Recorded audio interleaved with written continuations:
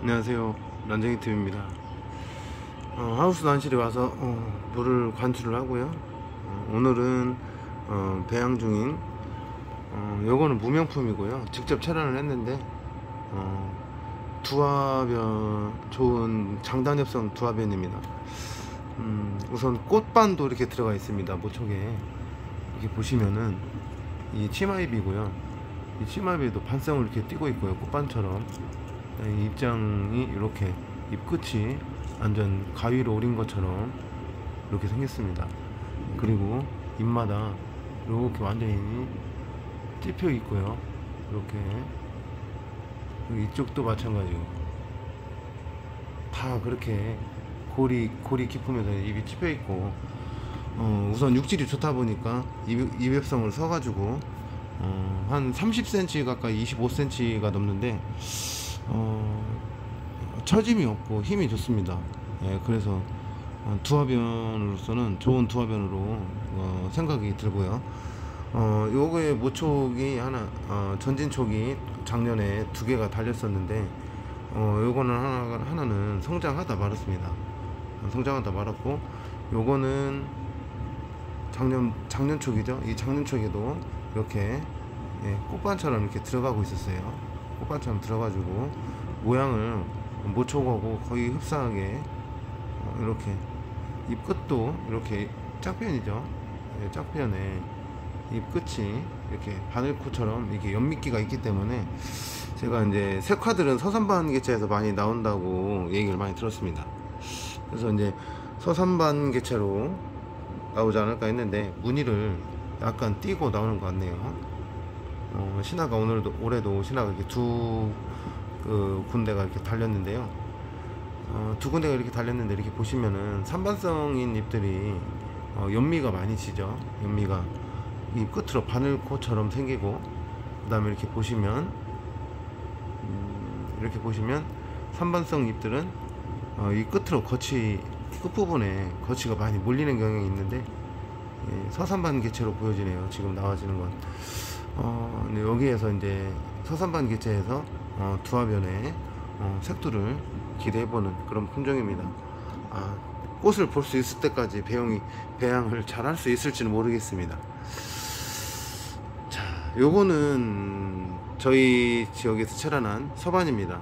이거는 그리고 옆에 있거는 요거를 한번 비교를 한번 해볼까 합니다. 어, 요 지금 요 오티바를 좀 도포를 했습니다 오티바하고 톱신을 이렇게 톱신 페스트 아 이렇게 도포를 했어요. 어 이게 도포한 이유는 어 이게 이제 진주에서 제가 체란한 품종이거든요.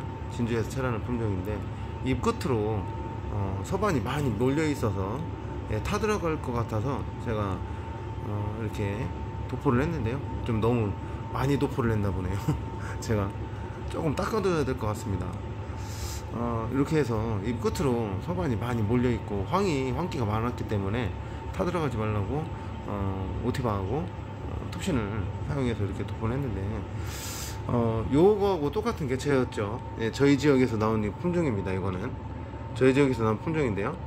어, 저희 지역에서 나온 요 개체도 이렇게 보시면은 자 이제 신화가 붙어서 신화를 보고 설명을 해드리겠습니다. 자 이렇게 보시면 신화는 그냥 섭니다. 서 신화 출하, 출하 시에는 서반이 아니고 이렇게 서로 올라와요. 이렇게 서로 올라갔다가 햇빛이 노출을 많이 받으면 이렇게 바늘 띱니다. 서반이 이렇게 정말 소반이 화려하게 들어가요 이런 식으로 그러면서 이 끝으로 반이 몰리는 그런 개체라서 제가 저희 지역에서 체란한 이 품종을 어, 같은 밭자리 난초죠. 네, 같은 밭자리 난초를 저희 집에서 베란다에서 좀 배양하는 개체는 어, 완전 그냥 아롱이처럼 요 서로 나와서 아롱이처럼만 남습니다.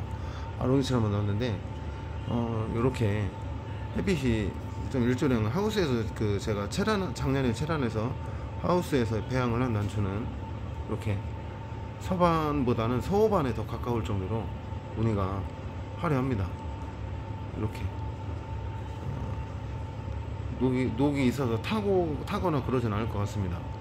무늬가 화려하게 어, 황도 아니고 백도 아니고 근데 황에 가깝다고 보여지네요. 앞뒤로 무늬가 화려하게 어, 잘 나와 있습니다. 네, 그래서 색화도 지금 기대를 해보고요.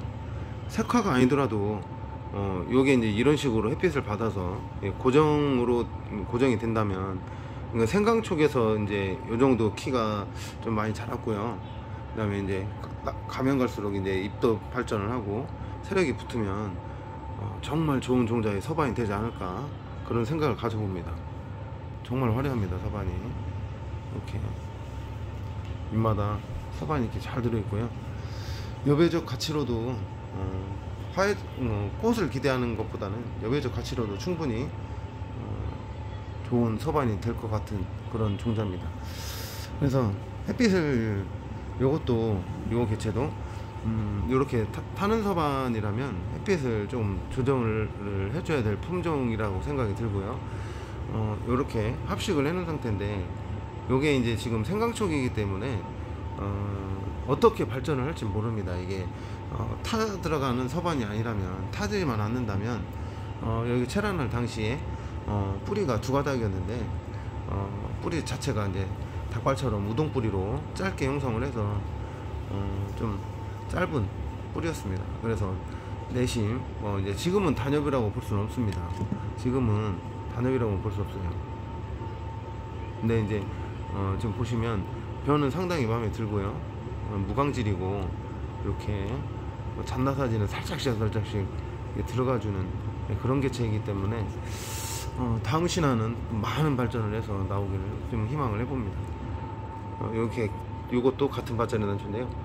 어, 톱신 페스트가 너무 두껍게 뭉쳐져서 조금 닦아줘야 될 부분이 있는 것 같네요.